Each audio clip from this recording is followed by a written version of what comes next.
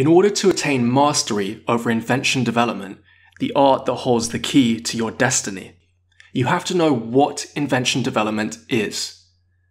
Part of the reason companies like Davison and InventHelp have capitalized so heavily on startup inventors like you in this industry is the mystery that surrounds what invention development is. After this video, you'll be in no doubt what it is, and you'll see an exciting opportunity open up in front of you as you start to see with clarity what's required to patent and license or release your product. So here's the first surprise that shatters the mystery. Invention development is just product development plus patenting. Let's take patenting out of the way for now and focus on product development. So your first lesson here is, as an inventor and someone who has an invention, you are in the field of product development.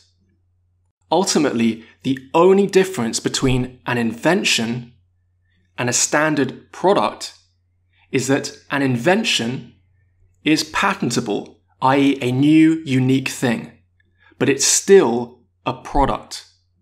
So, as an inventor, you are someone who has a product concept.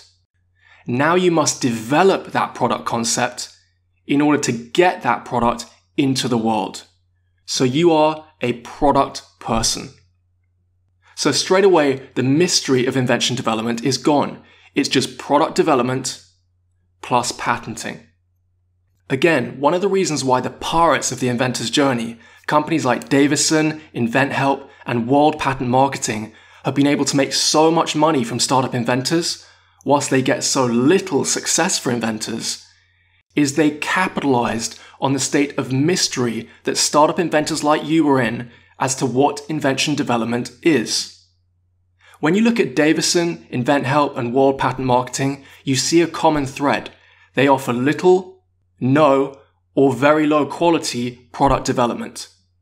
Now you can see why their success rates are so low, because invention development is product development plus patenting.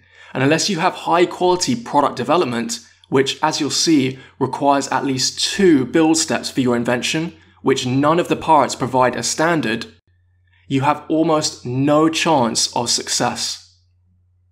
So instead of saying you're an inventor in the field of invention development, for now, I want you to think, I am in product development. That is what your mentality should be. I'm in product development plus patenting. Because invention development equals product development plus patenting. But there's one more thing. One more thing that completes the picture. Product development develops your idea into a final product.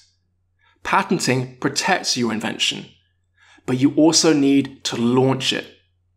Whether it be by licensing or releasing your product yourself, you need to make contact with those licensing companies or actually launch it into retail yourself to make your invention a success. At SHIINE, whether it be by licensing or releasing your product yourself, we call that launch. So that is what invention development is. It's product development, patenting, and launch. And these are the three modules of the inventor's journey.